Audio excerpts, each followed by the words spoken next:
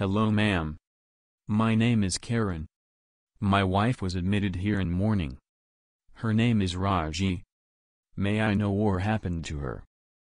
Hello, Mr. Karen. Your wife was brought to the hospital in a critical situation. And? I am sorry, but. We could not save her. I remember my wife had told me about some insurance policy. But I don't know where she has kept the policy papers. And I even don't know how does the claim process works. Now who can help me out? Hi. I'm sorry to hear about your loss and I heard what you were saying. I know who can help you out. Why don't you connect to GeMeLi Claims?